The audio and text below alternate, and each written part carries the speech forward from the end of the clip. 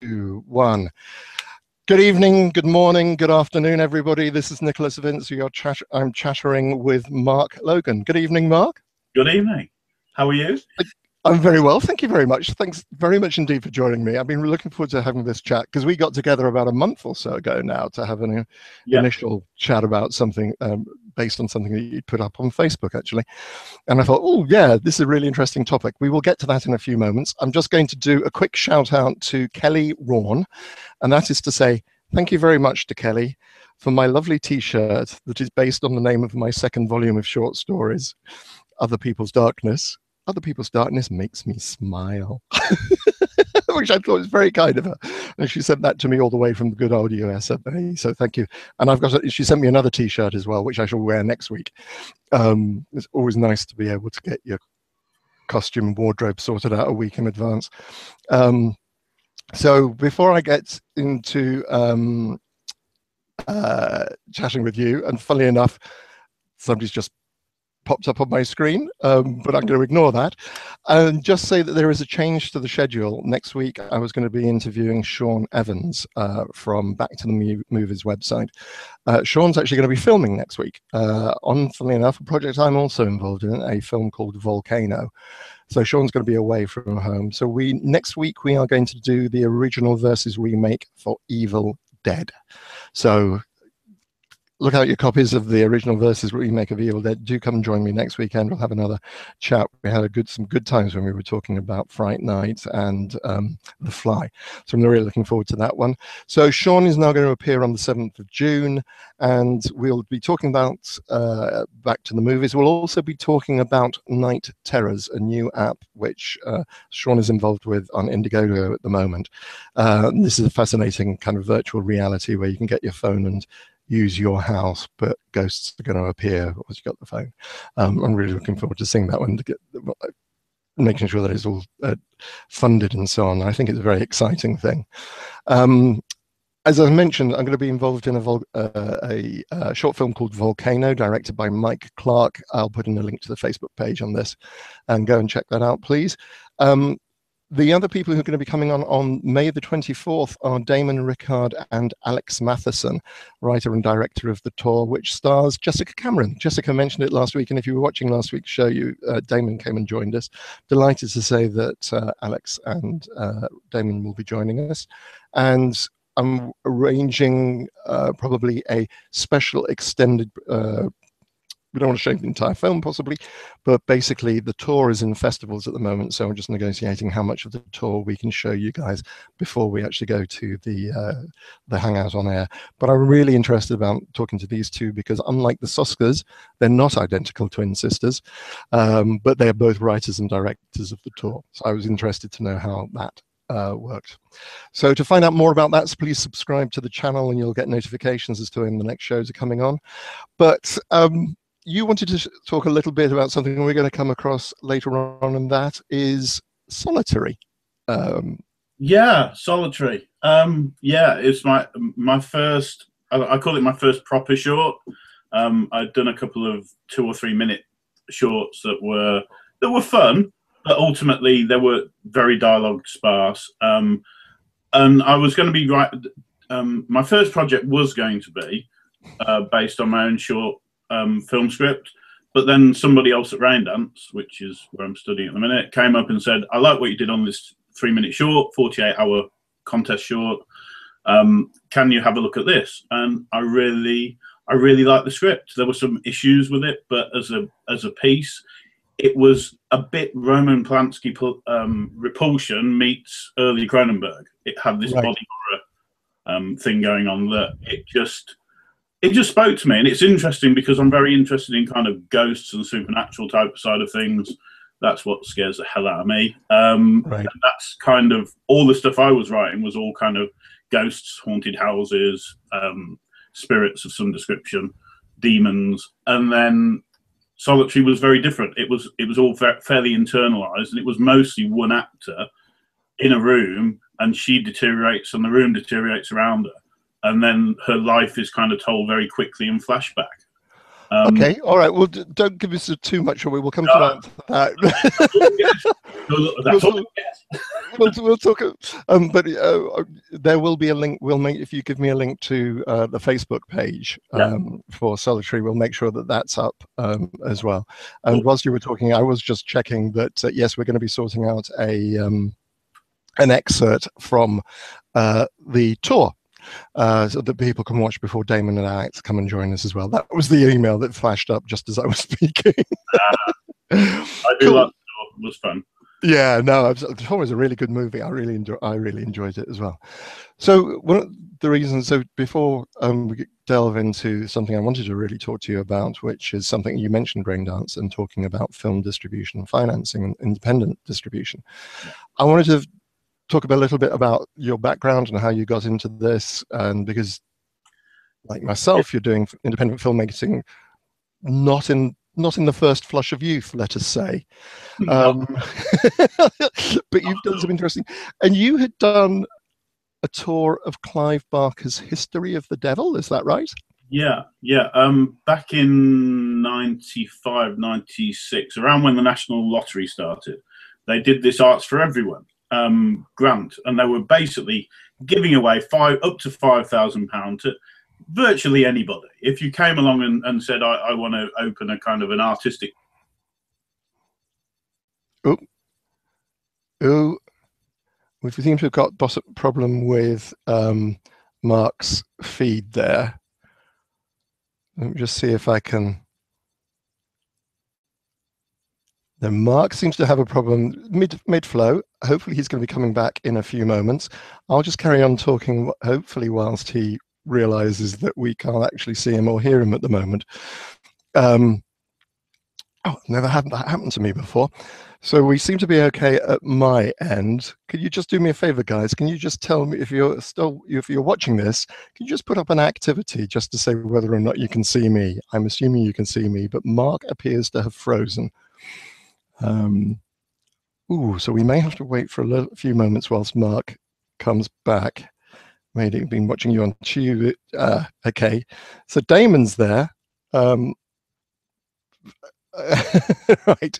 Okay, so what I'm going to do whilst we talk to Mark, or we wait for Mark to come on, I'm going to see.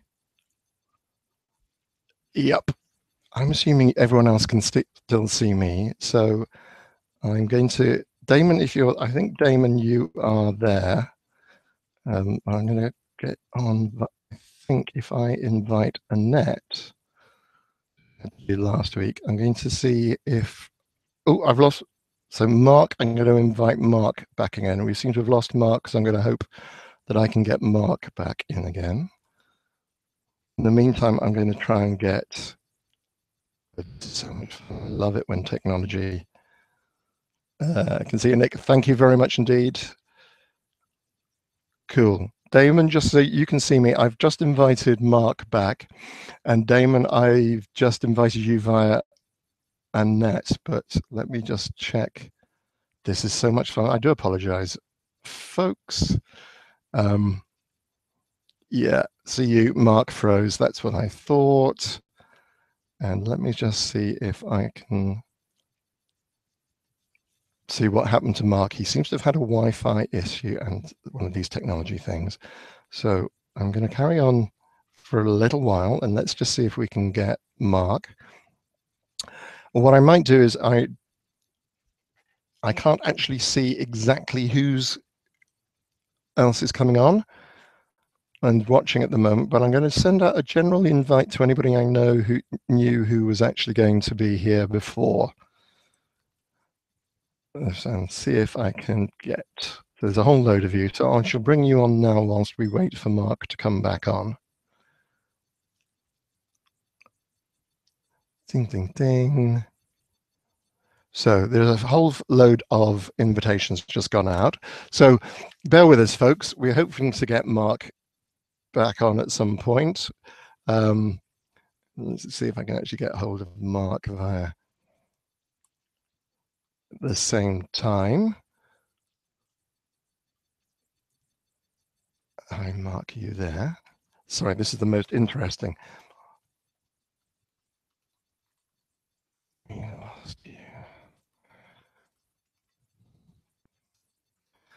Okay.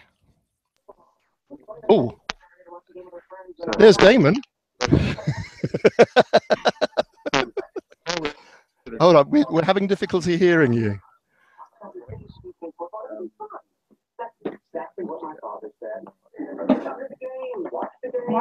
I think we can hear a TV or something in the background that just said that's exactly what my father said. Oh, Hold on. You may have a YouTube playing in the background. I did have a YouTube playing in the background, yes. Damon, hi. Hi. Hi, folks. This is Damon Rickard, who's going to be coming on on the 24th of um, May uh, to talk about um, the tour with Alex Matheson. Um, but thank you very much indeed for joining me in the meantime. And as I say, I have posted uh, some uh, invitations to other people whilst we're waiting for Mark, and I'm going to keep on trying. Um, yep, okay. Kelly can't join us. She sends her apologies. Um, hello, Damon. Hello, Nicholas. How are you? I'm very well, actually, considering. Considering I lost my, you know, um, I wasn't expecting to talk to you, but I'll quite happily talk to you. Um, so we uh, let's just kind of explain to the folks what we're trying to achieve on the 24th of May. Okay. Um, you worked with Alex. Now, am I getting the surname correct? Matheson or Matheson? That's yeah, that's correct. Yes. Matheson. Okay, cool. Um, yes. And you worked together on the tour. And yep. you're both credited as writer and director, or are you both director? Uh, both as writer director both as writer director. And as I was saying earlier on when I was talking to Mark, you're neither of you the Soska sisters. Um, so this is what I hope to explore. We won't go into that now. Sorry, did you say we're not the Soska sisters? Yes. Why didn't anybody tell me this? Oh, dear. my career's going to take a whole new trajectory now. um, but we're hoping to be able to get uh, an excerpt of the uh, an extended excerpt from the tour. Yes, that's correct. I'll be uh, I'll be putting that together for you tomorrow. So. Brilliant. So uh, this will give a chance. We didn't want to give the whole game away, particularly as it's going to festivals at the moment. Yep. Um, so we'll, we'll be, this will be more than a trailer. It is an ex, uh, extended uh, cut. Yep. What I'll do is I'll put a little bit from the beginning, from the middle, and a little bit in the house as well in there, so that it, you can get with the film. You can get an idea of what's going on there. Yeah, yeah. that's absolutely. And as I mentioned, who's your who who who's starring in the tour? Um, we've got we've got uh, somebody that probably who watches this have never heard of uh, Jessica Cameron. Um, yeah, she's she's in it. We've got Heather Dorff, um, who was in Truth or Dare with Jessica, um, and uh, a guy called Tom Gordon, who we sort of plucked out of out of nowhere, kind of. Right. Um, but he did a he did a fantastic job. Yeah, I've I've, I've had the great pleasure of watching it, and it, it, it is a very good job. And there's a there's a real nice vibe going on between your three lead actors. Um, yes, well, we uh, the night before we we shot it, um, we or a couple nights before we took we took the girls out with Tom just so they could uh, build a little bit of chemistry, and uh, so Heather was quite smitten with him. that always helps. That it always does. helps when you, uh, when you do that.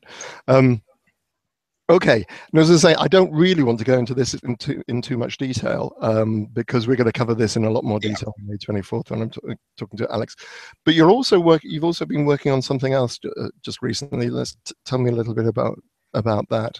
Um, I just recently shot uh, a short called The Package, uh, which mm-hmm. we brought Tom back for, and we got ta- um, Dan Palmer um, involved in it. Um, and it's uh, sort of it's a very different film to the tour. Um, it's uh, it's a lot more stripped back. It's one location. It's two guys, um, and it's a situation where we join them in. It's two people which are supposed to be quite close. We join them in this situation where one of them's done something which uh, has caused um, a massive almost like a desperation for the other one, and it's it sort of builds up on the on the characters to how far the other one will, will go to try and resolve this situation. It's uh, it's sort of slowly the tension ramps through the through the short. Uh, it's in post production at the moment, currently being edited. And when do you hope to have that finished? Uh, we well, we need it finished for first July because we're going to enter it into Fright Fest. Okay. So fingers crossed. We'll. So yeah, I mean, we're. Ho- I'm hoping mid June we'll we'll have it ready. Right. Right. Okay. Cool. All right. So I'm just. Uh, uh, uh, Andy Stewart says Damon Rickard. I will be watching on the 24th. Yay! Um, good old Andy. I was right. I, I'm glad you said on the 24th. Otherwise, I, was, I felt he was going to start stalking me again. Now then, I'm hoping there are right. Ah, Hello, Mark, Mark. get rid of me and let's get back to the important person. Cheers, Damon. Hi, Mark. well, do, do you want to just sit there quietly, just in case he decides to bugger off and leave us again? Okay, I, I will be very, very quiet. I, oh, sorry, technical difficulties. I had to clear my cache of cookies and that. I, you've been in the cookie jar and just too many cookies. This is the this is the real problem. Oh. You, anyone who knows me knows that's true. cool. All right. So, Mark, Yes. thank you for yeah. Well done, mate. I yeah, that must have been quite panicky for you. We were doing fine uh, whilst you were away. I know it was Where- listening to Damon. It was far more interesting than this. What what we were talking about is you said you got some money together and you, the the play you chose was one of Clive Barker's. Uh, Yes. It'd be quick. Just give me a very quick précis of the play that you chose and the Uh, name. we did History of the Devil, um, which is, I, I think, one of the potentially easiest. It's it's a journey story. De- the devil gets thrown out of heaven. He doesn't remember initially who he is, and then meets a number of different people, has a diff- number of different encounters along his journey, uh, and then rediscovers himself and decides that actually being the devil isn't that bad. Right. Yeah. Okay. That's right. I'm just going to hide. We still, although uh, sorry, although Damon's muted, I was still getting some some TV background noise as well whilst we were talking through that.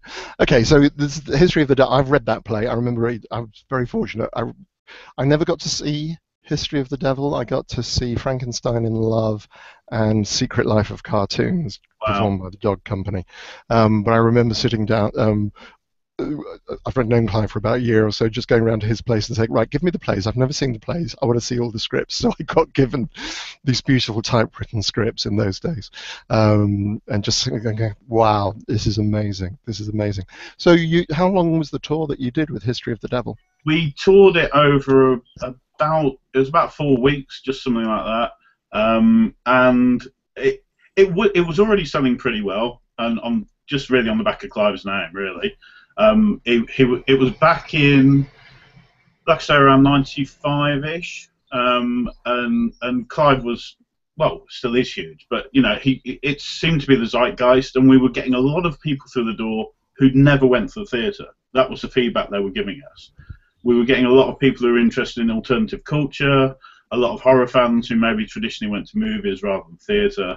Um, so that was great. Um, we had some issues around Burton on Trent. Uh, Tell me about Burton on Trent. Burton on Trent. Um, Burton on Trent banned us. Um, specifically, they banned me, uh, and they definitely banned History of the Devil from appearing. Um, at the time, and I, I don't know about now after what happened this week, um, it, it was a very conservative, conservative local government. Right. Uh, and it was a it was a government building, a theatre there. It was like a government-run art centre, local government. Um, and they they had somebody somewhere had clearly not read it, but had kind of almost like prayseed it, and they said, "Devil comes down to Earth, meets a woman and, and her daughter, adult daughter, rapes her or has sex with her," and they just went, "Well, it's got it's got paedophilia in."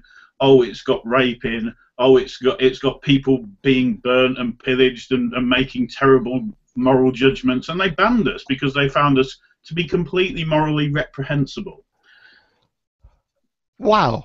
But why did they ban you particularly as well, apart from because that's the play, but why Well- did you I, I attempted to justify um, what was going on in the play, and every time I attempted to justify it, the papers, as they are wont to do, intend to, sell more papers. I want a big story, and I'm afraid, you know, Burton on Trent Herald or whatever it was, and and, and the Tamworth Gazette all these local papers didn't have a story, and so suddenly to focus on this person who was doing these reprehensible acts, and and this director was in control, and he was he was going to bring a naked Asian man. Would you?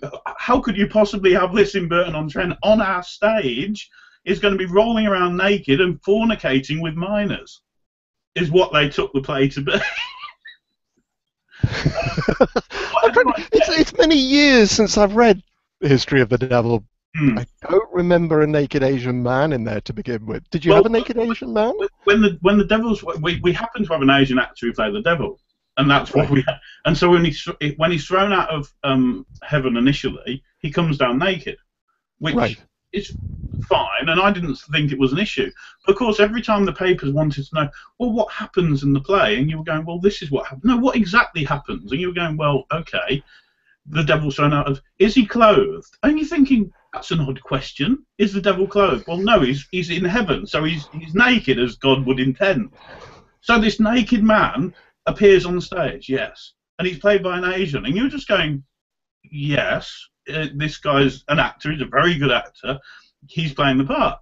And yes, they kind of it was just on no level did they want that play anywhere near. And so as a result of that, the rest of the tour sold out. Right. there really is no such thing as bad publicity, in other words. Yeah. Yeah. So that, that, that an interesting experience. yes. Yeah. No. Absolutely. Um, that, yeah. Absolutely. I, I yeah, and of course, this is you know just to remind folks. Of course, this is in the days before the internet, so this is all local papers. So this is you were actually physically talking to reporters, giving yeah. interviews, and then they were going away and saying, "Yeah, no, this is this yeah. is what's actually happening." I, I, wish I, could get, I wish I could get any anything close to that amount of coverage as a filmmaker, but it was all front pages at the time. It was, oh my god, you've got to see this play. Brilliant. Okay, so this is so you had a, a, a bit a, a, history in theatre and so on. Yeah. Um, and jumping forward a few years, um, you moved away from theatre. Is that right? Yeah. Um, I was an actor originally. I trained as an actor, um, and on my, my graduation shows, all of the feedback I received from everybody, which was a bit gutting, was come back in 20 or 30 years' time and you'll probably get work as a character actor, but you'll never get work. This was pre James Corden, so there was no such thing as an overweight young male in his twenties that was going to get any anything like any leading parts. And they went, "You won't get it. You need a more lived-in look." And I've I've kind of I've gone past that point. I should be going back to the acting world because I've certainly got a lived-in look. Okay, so you went on, um, and one of the things that you've taken up, how you, you're involved in Real Reel Scares, um, which is a blog, uh, which I kind of find interesting. And your, your your USP, your unique selling point on that is the fact that basically it's four of you and you all review the same movie. Is that correct? Yeah, yeah. That the, the ideal is all four of us. Occasionally if one of us doesn't go to a festival, then it's sometimes three. But the ideal is that it's all four will review the same film. And as you say, the unique selling point was always, if you normally read any review, it's it, it's obviously subjective. And so we yeah. thought, well, if there are four of us um, who who are just friends, and all it is is the four of us always sat together for the last several years at Fright Fest. That's how we got to know each other. We didn't have a prior history or anything, and and we just struck on, we really got on, and we just came up with this idea, and we'd been mulling it over for the last couple of years. And then at last year's Fright Fest, um, that was that was a moment. It was like, yeah, this isn't the time. Let's try it and see. And it seems to, because then if you get one person who really doesn't like something for their own personal reasons, it doesn't affect normally the overall score. Um, but it, it, it's interesting. I find it interesting to read the others to see what the other guys think of stuff because we all have we all come at it from a different perspective. So, uh, touch wood, it seems to be it seems to be um, received pretty well. So, who are your who are your colleagues on Real Reel Scares? Ah, ah well, we have um, Mike Shawcross, uh, who's also uh, well my my photographer in residence and Damon's now as well. Um, uh, and he's now taking photos of just about every film set in the UK, it would seem. Um, and then you've got uh, John, um, who does all the design on my posters. It seems like everyone's kind of together making movies, but um, and then we have a ninja, uh, and the ninja is is a guy called Chris who no one ever sees in between Fright Fests, but he is out there, and we hear nothing from him for ages, and suddenly he'll give us like ten reviews and then disappear into the night. So Ninja Chris could be watching now, and we'll never know. and we'll never know unless he decides to message us or something, or give us give us a review, basically. Nice. yeah. So you've you've been running this for about a year or so. Uh, it, uh, since last Fright Fest, so only about seven or eight months. Yeah, about seven or eight. Because I was looking at some of the stuff, and it, and it is absolutely fascinating. Because, as you say, you get more than one person, and you don't always agree. No, um, no, we we. I, I, we all commit from different points of view. I mean, if, if we were doing retro stuff, I'd look at Dario Argento and I'd be waxing lyrical about um, Argento and Giallo, well, from the 70s anyway. Uh, and then I can tell you that there are other people who would who would literally crucify me for doing so. So we won't be doing any Dario films because he will get an awful score. Uh, not right. but he will get an awful score. So yeah, we all have different minds. But but the good thing is, if four people give it a great review or four people give it a one star review, you can be fairly sure as, as, as, you know someone who's thinking about watching that film that that film's going to be great or that film's going to be dire. Because right. if four people with very different likes and dislikes all go, we love this. Um, the House right. at the End of Time, which we did a couple of weeks ago, gets five out of five, and that's the first film we've ever kind of given that to. Really? So it's it, it when it works, it's great. I think. But Ah, interesting. Okay. And just so that everyone knows, this is real, reel scares, and it's sp- spelt R E A L. Yes. R E E L. Yes. Scares. yes. So real, reel scares. Yes. Um, yeah. um, which, yeah, I, I, find absolutely fascinating. Um, so Sorry, I'm just hesitating for a few moments because I've just managed to open up a um, an app that I really didn't mean to open up on my, on my laptop. Go ahead, it's your show. as, as, everyone knows who watches this, this, this show is of the highest technical and professional standard at all times. Which I've only added to tonight, clearly. yeah, no, absolutely. So you you've done this, and basically your your your love of of horror obviously it goes back a long time. Um, yeah. And you you mentioned you you alluded to the fact. How long have you been going to Fright Fest in London? Uh, my first Fright Fest was it was the last one at the Prince Charles um, before they moved. It was um, with Hellboy, so it'd be about 2004. I okay. think around there was my first one. I had a couple of years off then, and then I came back in sort of the later nineties and um, or later tens. Yeah. Um, so yeah, so I think I've done about nine, nine or yeah, nine now I think. So I do I do love my August bank holidays. I was there a couple of years ago when they were doing a screening of Nightbreed, but I wasn't able to make it last year. It, it, it doesn't matter. Whenever I want to do something, I'm always usually on the other side of the world. Um, I'm trying to work out the rhythm of that kind of thing. But so from this love of horror and watching this, you decided you wanted to make movies, and then I think you did something very sensible. You decided to train, so you went to Raindance. What is it you've been well, at? I mean, this is kind of interesting. Whenever anyone says, "Oh, you're training to be a filmmaker," I said, "I wish I was," but I'm really, I'm doing what everyone else is doing and kind of making it up as they go along. Um, the Raindance MA, I, I, I thought was interesting. I mean, I wanted to be a filmmaker. When I was a kid, I wanted to be a filmmaker, but but you couldn't. A working class kid couldn't really. There didn't seem to be any way to get the money together to film on 16 mil or 8 mil even, it, it seemed too big a leap. And I think the whole DSLR and digital has kind of opened up and democratized filmmaking, which is now why we have so much product out there. Yeah. Which leads to the, some of the issues with distribution that there are. Um, but with the rain dancing, I was made redundant last year after working on the railway for 16 years. Um, and I just thought this is my opportunity. I can either just kind of go straight into another job and put some money on a house, sensible, or I can go off and, and do a Raindance course in independent film, uh, less sensible. Uh, so guess what? um, so, but the but the course is in it's an MA, um, and I'm not now. I'm kind of thinking, yes, it'd be nice to have an MA at the end of my name because I never did formal education. I was one of those kids that mucked about in class.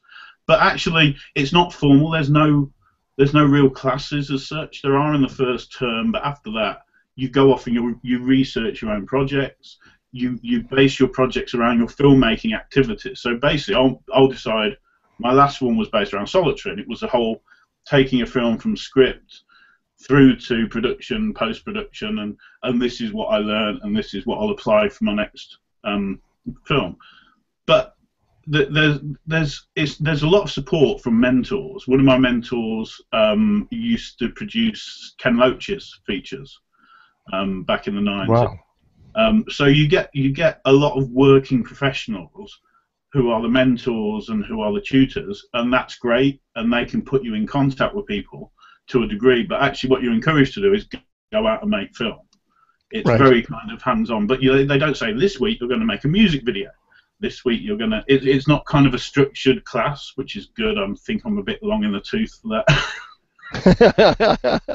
but but it's it's great i mean i've loved it um, but really all it is it kind of is almost the thing that gives me an impetus to go right i'm going to go out and make a film uh, you right. know now i'm doing this i've taken this amount of time out of the workplace i'm going to make film um, yeah, so you don't have what you can do anything you want. Some people never make film on the course, and some people make lots of webisodes, and some people just make one feature or one short.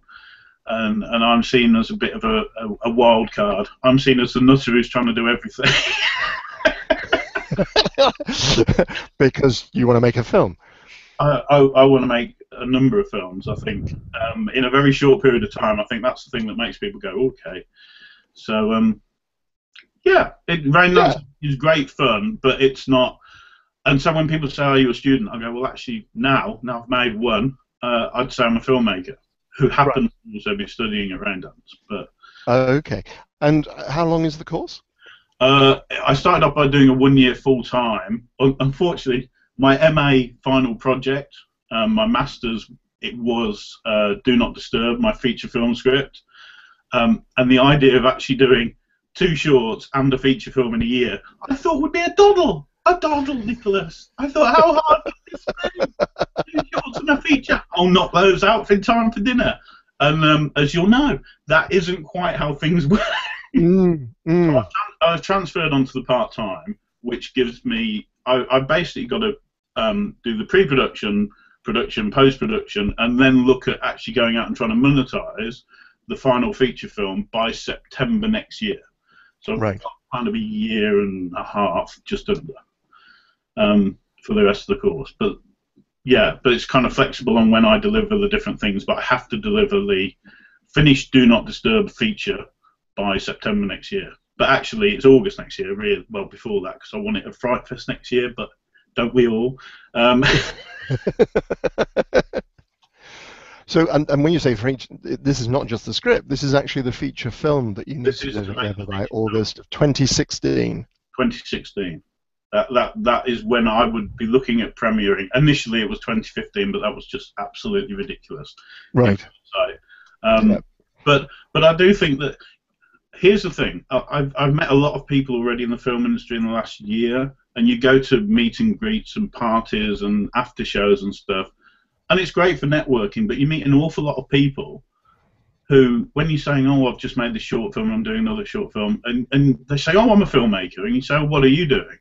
"Oh, I've been working on my script for the last five years." Well, what have you made in the last five years? Nothing. And I'm like, oh, that would terrify me. I just go, well, I might become one of those people that go, I've got this script, and people are going to go, but you haven't made it.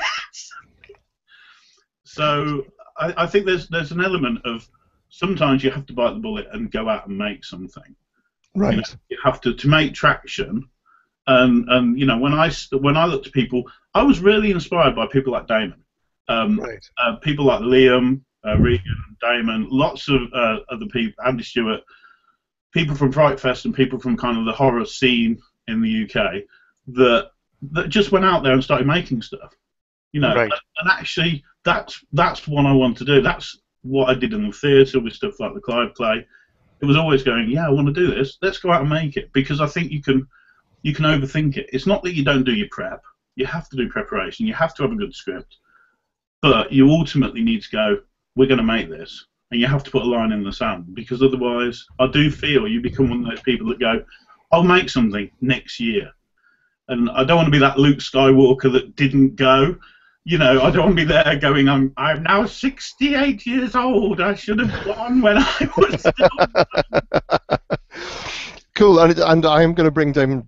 If if Damon's still, I think Damon's still. He's there in the background. Damon, give me about ten minutes or so. I'm going to be talking, and if Andy Stewart's still around, I'll I'll invite Andy on as well, um, uh, to come and join us, because I'd like to come back to some of these topics. The one thing I, when we were talking earlier on, then was that you've done uh, some sort of study. You've investigated independent film distribution as part of your course. Is that right? Yeah, yeah. Um, I had to do a research project, which was a great deal of fun. Um, and and so I did my 110,000 words. I think it ended up being in the end. Um, so That's I more than a novel. That's a novel. That 110,000 words. That's a novel. No, You've written a novel. it, wa- it wasn't far off. I do have a tendency to overwrite. I do need an editor. Um, Right. So um, yeah, and, and I wanted to look. For me, again, it's about if you're going to make a film, and you're going to put the time and effort into making it. Certainly, this was about the feature and the eventual feature. How do you optimize your chance of being able to monetize that film? Because Right. whether I take out a loan or put it on a credit card, or whether or not I, even if I crowdfund, there's still an expectation to some degree you're going to make enough money either to pay back your investors or to pay off your debt or to be able to actually invest in your next project. You know, and, and one of the things that terrified me when I saw it as a statistic is that um, feature film um, directors, 80% of the people who make a first feature never go on to make another one. Interesting. And that that was kind of a, a rude awakening moment. Um, and again, when I was interviewing people for um, my research project, uh, uh, more more than a couple of people said to me, "You have to be careful on the second film more than the first film. On the first film, you'll use a huge amount of favors up. You know, you won't have enough money, if any. Can you do this for free? Can you act in it for free? Will you take deferred payments? You know, will you be able to do effects at cost? You'll, you'll use an awful lot of goodwill. But on your second film, those people will probably go, well, I need to still put a roof over my head. I still need to put food on the table. Yes, I've helped you out, but there is a kind of an expectation as you move through your career that you'll be able to pay people. And I think that's everyone's aspiration. We all, I- mean, I want to pay everyone who works on a film. But getting to that point is getting more and more difficult because raising that amount of money is becoming more and more difficult. I, I, that's my view, having looked at it. Uh, a- that's very interesting. And you you, you said uh, 80% of directors. Do you mean specifically independent directors? The, yeah, the uh, well, eighty percent. The, the the figure was specifically um, from memory. That was taken from uh, the BFI yearbook. I think that was where where that was from last year. That sounds familiar, actually. Yeah, no, I think you're absolutely right. And, Um, and let's face it, most people are going to start as an independent. Yeah, because nobody who actually just walks into a studio and says, "Right, give me a million dollars, and I'm just going to make uh, umpteen million dollars." It is these days. Um, even, even Christopher Nolan has to go and make following first. Right. Yeah. Absolutely. Okay. So eighty percent, you know, that, and you think that is just because it's exhausting. I think it's exhausting, and I think, uh, and certainly the feedback I was getting from people when I was asking their opinion on why they thought that was, it was a lot to do with you use up favors, and, and also the perception. If you make a first film and it ends up on the shelves in HMV or Sainsbury's or anywhere else, there is a perception, normally wrongly, oh, you must be making money. And therefore, there's this kind of when you first go and you say, look, cap in hand, But I'm putting all the money I've got into this.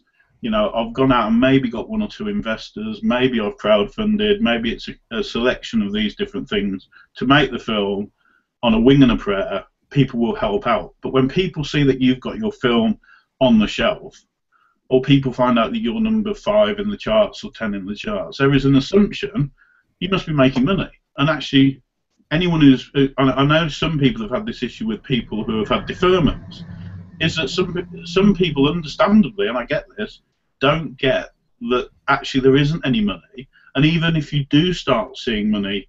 Um, it, from your from traditional distribution through DVDs, um, Blu-rays, you're looking at somewhere between sort of nine months and two years before the money starts to come back and that's after everybody takes their cut.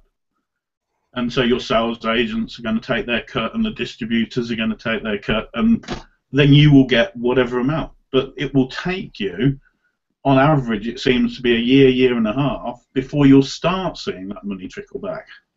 And of course, that, that means if you're reliant on that to invest or to pay back your investors so you can go back to them and say, will you, will you back me again? That's that's going to put a bit of a, a, a stopgap because you can't then go and get more money to more people to invest in your film because actually they might still be waiting for you to pay back that investment that they gave you for the first film. So there's a potential that, and I think this is slowing down a lot of people who, who maybe have got a second project or a third project, who are having to kind of wait for money to trickle back in to be able to go out there and make another film and it's difficult. It sounds sounds extraordinarily difficult. Um, what? So what else did you? So you, you had this big number, um, the terrifying number, and so on. What else did you, in terms of the number of independent movies that actually get distributed? You know, actually find how many uh, movies actually find distribution? Do you think? Well, I'm, I made a few notes. You'll be glad to hear. I can't retain this amount of information. There's no, no, no. I, I completely understand that. Yep. Um, uh, as part of my research project, um, there was a survey between 2003 and 2011, uh, and between that period of time, uh, 1,546 independent British films were shot. Of that 1,500, 620 had no theatrical release anywhere in the world. Of those 620, 414 of them were either shown at festivals or had a DVD or a video on demand release. So they were seen in some way, shape, or form.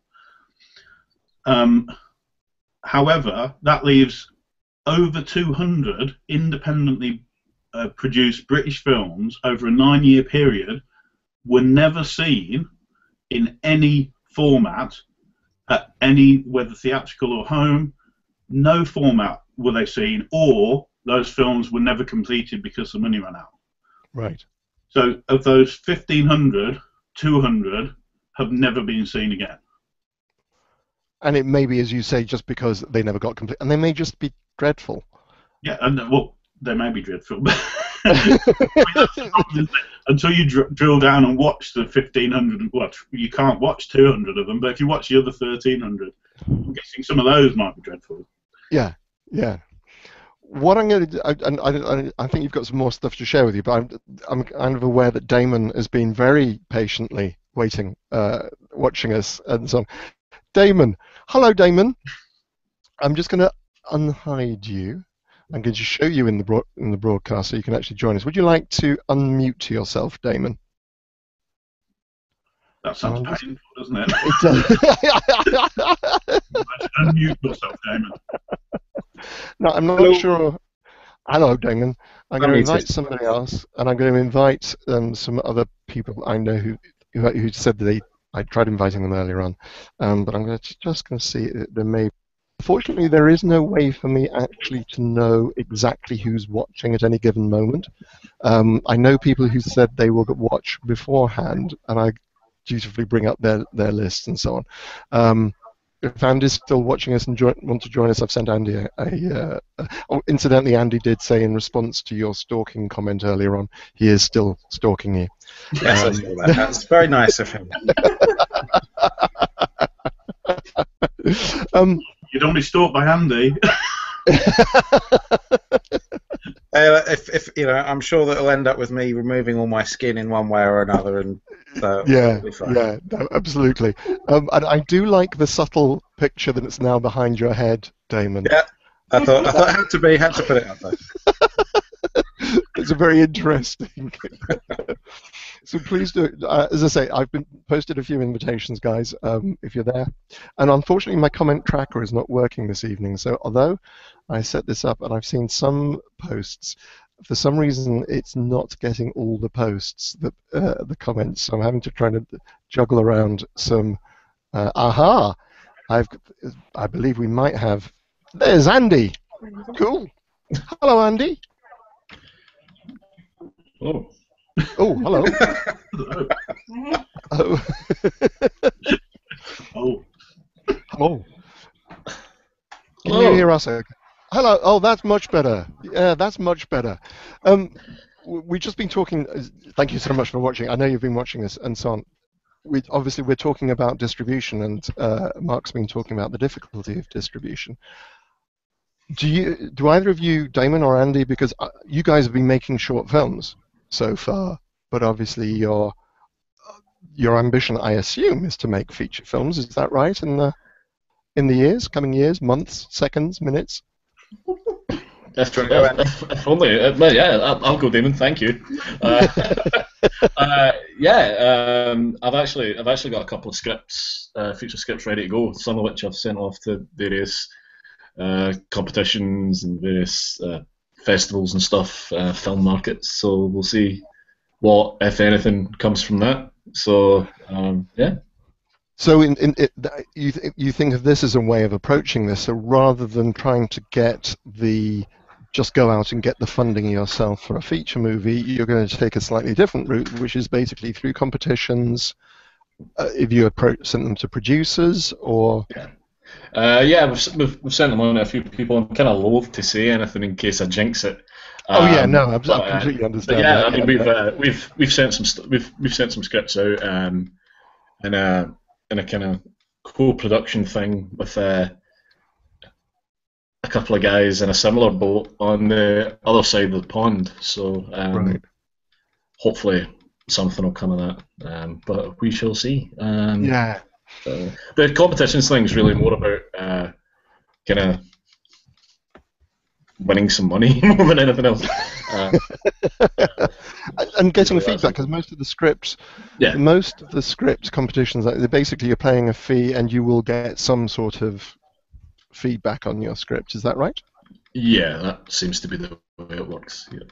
Yeah. And what about you, Damon? Have you thought about doing feature films? Uh, yeah, yeah. I'm currently uh, trying to put two scripts together at the moment. Where um, we'll talk about more when we're on, but sure. also looking at a feature of the tour. Um, and you know, it's uh, exciting, exciting news from Mark that there's a, a 15 to 20 percent chance if we make one, no one will ever see it.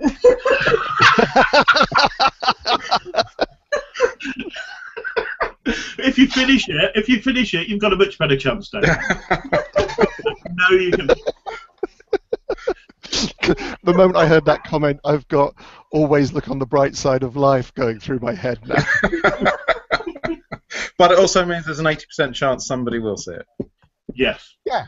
Yeah, absolutely. Yeah, no, absolutely. And that's actually quite, yeah, quite good odds. It's the same in any business, isn't it? You know, when you start off, you have you, any kind of product you are making, you've got to get it to market somehow in distribution. Um, you, we made you made a reference earlier on to um, distribution. Okay, so these are your big numbers, Mark, that you've got it's it's tough. We all assumed it's going to be tough. Did you get any other insights into what you help think works through crowdfunding, or um, what do you think made the ones that were successful successful? Oh well, there. Um, uh, yeah, I'll tell you what. One thing that kind of got hammered into me, actually by Alan um, from Fright Fest. Um, it, what he said to me is, title. He said two things. He said one, don't make a zombie movie, which I think is probably very good, very good advice for us all. Uh, and Damon looks nervous. one, one of the scripts I'm writing might happen oh to no, feature something. David. um, and, uh, but he did say that the other thing is title. he said title, title, title, and as as everything's moving over to kind of uh, video on demand and, and and all these sort of systems that you get over in the states, where basically you've got a humongously long list of films, and you've got you you kind of have maybe one or two lines and a little tiny sort of postage stamp of, of the poster to make a decision on what you're going to press and what you're going to watch. Um, it will become it more and more. Uh, it becomes more and more important about how you title your film. Um, although he uh, he did say, well, if you start with A, it helps, which kind of goes back to a chorus line. Um, and so it, he did say, get the title right. If you have a title that grabs people, that's what you need to do. Because if you've just got lists and you've got very little else to kind of go on, unless you happen to be one of those films that have had a lot of publicity, a lot of marketing, no one's going to know your film from Adam if Solitary just got put in a huge list of like you know a thousand titles or two thousand or three thousand, why is anyone going to click on Solitary unless they're feeling particularly lonely that night? so, um, but but yeah, and I I think I mean just on a slightly different tangent, um, one of the things I do think is important is that if as we're all kind of going into the idea of features and how you market and you distribute we're losing all of the all of the outlets. All the high street outlets are going, and even going back, I think it's uh, the the data I looked at went back to 2013, at which point 43% of all retail sales of DVDs and Blu-rays were in the supermarkets. Now that was almost 50%, and that was two years ago. Bearing in mind what's happened to HMV and all the other stores in the last three, four, five years, I would be very surprised if that, that figure now isn't over 50%. But if you go into a supermarket, how, how much shelf space have they got?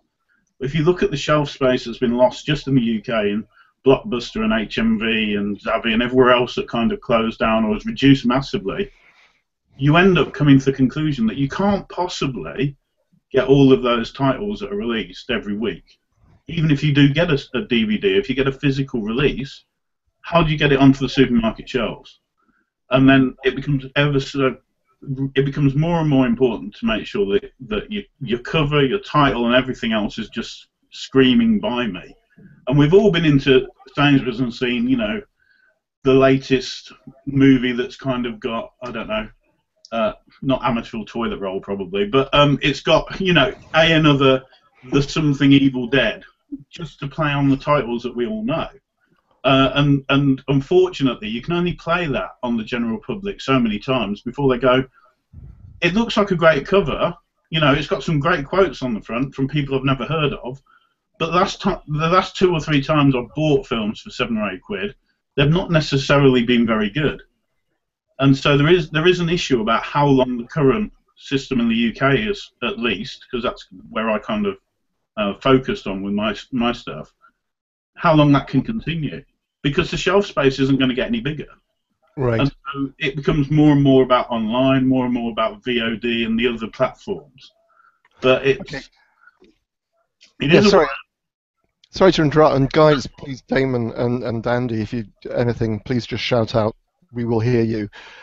I, I'm curious, as so you made a very good point.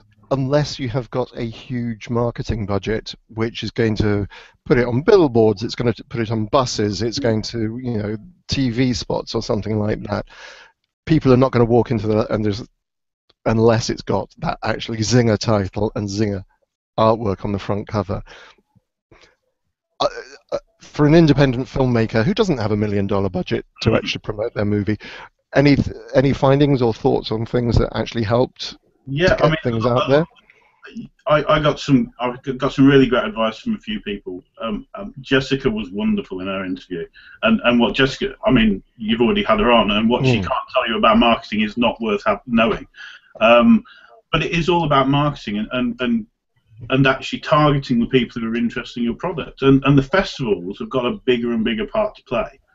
And and I think and some some of the some of the feedback I, back I was starting to get was that I it looks as though the festivals are going to start attempting to maybe look at coming up with a way that they can they can kind of be the um, they need to have some way of actually saying this is a good product. If you go to a festival, if you go to Fright Fest, if you go to Sitges, and this film has got in, it's gone through a sifting pro- process. If you go to Sainsbury's, those films haven't been sifted. If you you need to get to a point where you've got you've got some way that that um, you've got people that you can trust who are actually going to say these are great movies and that feels that it's a bit that's missing at the minute is you've got these you've got Netflix, but you can't really tell what's great on Netflix and what isn't. And maybe what we need is we need Fright Fest or Celluloid Screams or, or, or you know Grimm Up North or, or whatever. Um, yeah. Sorry, sorry to interrupt, Mark. Yeah. Grim, Grimmfest, they've already got their distribution label. Um, yeah. They've already got their own distribution label. Um, granted, some of it is. Uh, it's the stuff that uh, that Simeon, who runs Grimmfest, they, I think they put their own stuff out on that. But I know they put out stuff like uh, some guy who kills people on that label, and they put uh, a bunch of other stuff out. I think on uh, through the kind of Grim Entertainment or whatever it is banner. So I think I think maybe that's a good way to do it because although saying that, I don't know if anyone really would pay that much attention to something like that. Um, it feels that it almost needs to be kind of an online thing rather than, than physical media. I yeah. don't that'll make an, uh, any money going forward in physical media, really, which is a shame. I think it's a very interesting thing because I think the the automatic thing is that you look, and I was again just thinking about Netflix. I think it's really poor because the only thing that it can tell you about a movie is they don't put up quotations. They put in a really weird tagline sentence. If you're looking for something that's really out there, you've just found it, or something like that. You've got the star rating um, on Netflix runs one to four rather than one to five. But what you don't get from the festival is those lovely little wreaths around the saying, you know, Sitges Festival, you know, best film at, or things like that. And I think when you, you know, when you and it seems to be that the trailer that these appear mostly on the trailer is that you know winner of Palme d'Or or something like that. I mean, it is the Oscars game if you like, um, but you don't get that on Netflix. You don't tend to get that on IMDb. I'm just trying to think on iTunes. You don't really, you really just. It's whether or not somebody else has actually had a look about it and and actually seen your movie, and what their their response is. Hmm. Yeah, I, I think curating. I think that's the word. It, it's you need. I mean, you know, I watch a huge amount of horror, but ultimately, I still I still have the same problem everyone else has. I look at three movies I've never heard of, and apart from going on IMDb, if I've never heard of them, you make a punt. And it's uh, if you go to somewhere that could, could curate, if Sitges started their own website with Netflix or something, or the Sitges Presents on, on Netflix, and they were curating like their best 50 horrors from the last 10 years, you'd kind of think, well, there's going to be kind of a level of quality you'll expect. But yeah. whether anyone's actually going to make I that. you're right, though, Mike, with the whole taking a punt thing, um, that it'll only last for so long. I mean, we, uh, we, we got a film off Netflix called The Haunting of Backwood, and there was no haunting there was nothing called Backwood in it, and it was a sort of this weird mystery film rather than a horror film, and it was it was average at best. And then you look at what happened with the hospital. One guy wrote a piece in the in Gloucester newspaper, and all of a sudden, this film was notorious across the country because it was so horrific, um, and it was actually quite terrible. Um, but loads of people bought it on the back of a bit of notoriety. It was in the supermarkets, amazingly got in there somehow. But you get a couple of experiences like that, and people will then start going, "Well, I've tried it with a couple of films I haven't heard of. I'm going to go back to the ones which Empire are telling me to watch, or which I see trailers for on the TV. You know, it's going to be all superhero movies, reboots, and all that that will that will carry on um, getting uh, getting the um, look-ins rather than the independents. Yeah. And then we get to a point when independent filmmakers making their first feature have got next to no chance because that market's been milked dry. They'll have next to no chance of getting their movie in unless they happen to just hit that zeitgeist. You know, and yeah.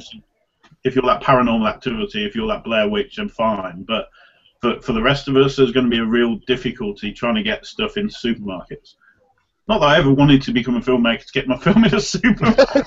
what we could all do is we could print up loads of covers and, and, and just go and put them up on the shelf. That- That's an interesting marketing technique. Um, okay, so we're drawing to the end of our time, and I appreciate, Mark, we lost you, uh, and thank you very much indeed for Damon um, uh, coming up for leaping in. Anything else? You, so basically, you learned um, make sure that your your film title is Acme Horror. That seems to get get you to the top of the, the very top of the list, basically. yeah, Um, I'm grabbing that one, guys. You can't have it. I knew I should have got. I knew I should have got that Facebook page up before I started this interview. Um, but, and what do you, do you think about social media? I mean, is it Facebook? Is it Twitter? Is it uh, Snapchat or Instagram? I kind of think it's everything. I mean, I, I, I I'm, I hate. I don't hate social media. I, I think it's a great thing, but to have to do it, which I'm kind of having to force myself to go. You need to make more of an effort, Mark. You're not doing it as often as you should. But to build up interest in what you're doing, I think it's become more and more important because ultimately we get we are more responsible as filmmakers for our own audience. If if I want to have an audience, it's my responsibility to make sure whether by going to festivals, submitting to festivals, whether you know um, publicising it to death online, whether through whatever I do, that I'm trying my best to build up an audience and actually give value to an audience. Because I think if you're just going to go, here's my film, watch my trailer, which admittedly that's what I'm doing at the moment. But if, if that's all, if that's all you're going to do, then people are soon going to go, well, yeah, great, Mark, you've done the trailer, congratulations. Um, and if you're just going to say, oh, I'm doing, I- I'm doing a crowdfunding campaign, give me some money. It's about trying to give stuff back and and trying to get into that mindset and, and think, what can I offer people? Not an awful lot, as you've probably seen, but it, actually, that is a Stop being English. Stop being American. yeah. But I think it, I do think as time goes on, it will become more and more, more important for us as independent filmmakers who are trying to actually, you know, carve a niche to actually build up. And I I think you do that through through creation of of quality product. I think. I mean, you know, I'm not here to kind of butter anyone up, but I think what Andy's done is he's created a niche, uh, uh, and Andy's created a, a, an amount of films where I'm going, God, I can't wait to see his next film. I'm probably going to sit there with a bucket, but I can't wait to see. no, you won't, man. I've totally stepped. I've stepped totally away from that. Yeah. But, but I think by, by, nice by doing now. by doing two or three films in, in, in, in a certain manner, I think you create you do create that kind of identity, and ultimately we we all kind of buy into that, whether it's Hitchcock or whether or not you know we're we're fans of um, Christopher Nolan or any filmmaker. That there's an idea that you build up your kind of your identity and the identity of what you make. And I think over a period of time, if you continue to come out with quality products, even if you if you move from genre to genre, if you come out and you have a style and you're actually giving something that no one else is giving, I think that you'll find an audience. And that's what I hope and pray that I'm I'm going to be able to do as a filmmaker. Now that's interesting, and I will bring Andy in on this, and, and I'll come to you as well, Dame, before I start shutting this down, because I think it's a very interesting. You've made a very good point, Andy, that you've done three body horror, if you like, but your next one is not. How was that terrifying? That decision? Um, t- slightly. Uh, there's an expectation, uh, and uh, I think uh, certainly my Mark and Damon's level, um, we're, we're all kind of working on the same level. That expectation is is terrifying in and of itself, but there's something kind of um, liberating at the same time about taking the decision, even in my case, briefly, to step away from body horror and just do something different before eventually returning to body horror. Right. Uh, I, think it is it's, it's a liberating thing to do that, but it's absolutely terrifying um, be, because there is this expectation um, for the kind of thing that I do. Uh, so yeah, I, I don't know. We'll see how we'll see how it pans out. Well, yeah, I- and and to be honest, I can just I just have to point to Nightbreed and Clive's experience on Nightbreed. That you know the night the, the movie Nightbreed was never written to be another Hellraiser, but the studio assumed that because they'd seen Hellraiser and the success of Hellraiser, that's what they were going to get. Um, that was not a good experience for him. What about yourself, Damon? How do you see? What do you think about that? Are you and I will just say that Mark had clearly stated, you know, you can move from genre to genre, but as long as you've established the style or je ne sais quoi. But what do you think, Damon? Are you you think this is the sort of movie that I will always want to make, or For me your- personally, I've there's through growing up with horror, there's so many different films that I've loved. that, Um, I feel that each one I do, I want to try and do something different, um, rather than uh, in falling into in doing something where you know. I mean, there, there are certain types of horrors that I particularly love, um, but I'll always wonder if, oh, what what if I've done that and I've done that, and um, you know, as, as horrible as it may be to say, to say, I don't always just want to do horror films either. Um, So you know, it's it's a kind of I, I want to make sure that um, in terms of being able to make films that I can do, um, rep, you know, that I've grown up and loved that I can actually do that myself. Um, so so you know, I'm hoping that everything I do will be be very different. Um, and I think what with Andy, what he does is probably harder because he's you know some, somebody like Cronenberg who does a very particular type of horror film but manages to still keep an audience doing that. Um, I think it's commendable that you can stick in a certain area and manage to make each one different and interesting and watchable and for people to still want to see your next one. Yeah. And partly for me that might be something where I where I don't want to do that because I'm worried that if I do people get bored of me and I it's perhaps a little bit of lack of faith in myself to, to do that. So that's that's been my concern as well. That was why I kind of made the decision to, because I'd heard a couple of rumblings that I was doing the same thing. Uh, it was maybe more of the same. So even briefly, that's why the decision was made to change things up.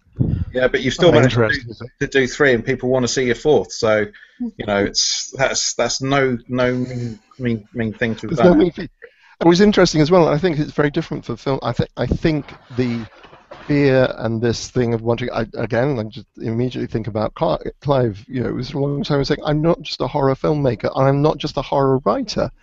I'm, you know, when he when Weaveworld came out, I remember him being on Jonathan Ross saying, "This is not a horror book. This is a fantasy book." Um, he re- describes himself as an Imagineer rather than as a. What I also find interesting in, if you think of book writing and Stephen King, I've got the name right, Richard Bachman books. Yeah. People will write, and this is something that, and J.K. Rowling did it recently as well, um, kind of before she came out of the closet and said, "Oh yeah, actually, I wrote this book as well," um, which helped her sales enormously, I'm sure. But there is this kind of understanding that if you become known for a particular thing, then you are you can be trapped within that you know perception, and it's hard. As a writer, you just change your name. Nobody knows who it is. You cannot do that as a filmmaker. You do not have that opportunity. So I think it is it is interesting. But the bottom line, I think, is as you all say, if you're doing good quality product, if you're telling a decent story and you're doing it well, people will want to come to see it. Mm. Gentlemen, this is. Sorry, I was just gonna. I was sorry. Just final thing. I was Sure. just gonna say. I think it's important to make the most, and that's what I'm trying to do with doing shorts. Make the most of the opportunity to experiment more, because I think the the Clive thing knocks on the head. Hellraiser, not for his fans and not for horror fans who kind of go, no, we, we get that Clive does a huge amount of stuff. He's doing his art. You know, there's there's an eroticism to what he does. It's not just horror movies. But Hellraiser was big, and if you say Clive Barker to anyone now, it's oh Hellraiser, oh this is horror guy. And actually, there is a thing that once you get into features, if you have a hit uh, as as a feature filmmaker, that's kind of what people will call you. You will be the horror guy. You'll be the comedy guy.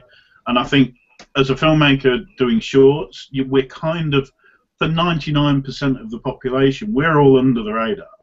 You know, um, I, I think very few shorts will ever come into the public consciousness. You know, until we get another red balloon or anything, it's it's not likely to happen. And so we get to experiment. And I think that's why it's really important for us to try and do stuff. And I think you know Damon's doing what um, Andy's doing, and what I'm doing between Solitary and the next film, completely different subjects to completely different themes. And I, am going to take the, the most of that because once you make that first film, if it's a hit, they'll call you the horror guy. If it's not a hit, they'll call you the shit horror guy. I apologise for the language. Rather than the shit hot guy. Call me the shit horror guy. Coprophilia. Now there's a yes. Okay, fine. Stop going there, Nick. Right. Okay, gentlemen. and on that note, ladies and gentlemen. I don't. You can't end it now. It's, it's just keep going.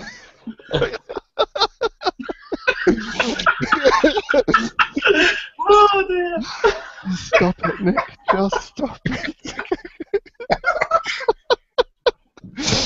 Gentlemen, um, I actually have to wind this down because I've got to go and get my husband from um, the airport at some point tonight. He's flying back in from Rome. Um, thank you so very much indeed to Mark Logan, to um, Andy Stewart, and to Damon Rickard. This was not the show that I'd originally thought we were going to do tonight. sorry, sorry, Mark. no, no, no. I, I, just thought I'd give in early on, and then I thought, no, I'll, I'll leave it 20 minutes and come back in. oh well. I thought, oh no, I'll just leave Damon. Sure, he's better than I am. And, and Mark, I, I, was so prepared I hadn't even done it. yeah. I wasn't prepared. Like, that's the great thing with me. The, the, man with pinhead behind his head. I wasn't prepared. I didn't think I'd be. No, that, that came when, when, when Nick said, I'll put it back. I went, Annette, go get the picture. I saw it surreptitiously being placed behind you. what the hell is he doing there? I thought, next time I'll get someone to come and put a picture behind me to. Yeah, absolutely. Gentlemen, thank you so very much indeed. I think this has been wonderful. There's some really rare insights and very useful insights into distribution and what it's like and what you know this like. Um, I look forward to speaking to to um, Andy on the 24th. Um, hey! With... Sorry, yeah, Andy. yeah, and, yeah, and please, you're more than welcome to come and join us, guys, and just give him a hard time, basically. Um, yes. Thank you very much indeed. Ladies and gentlemen, this has been Chattering with Nicholas Vince. I've been chattering with Damon Rickard and Andy Stewart and Mark Logan. And I will see you uh, next week when we will be talking about original versus remake of The Evil Dead. Good night, and thank you very much indeed. Good night. Say good night, guys. Good night. Good night. I'm stopping the broadcast now.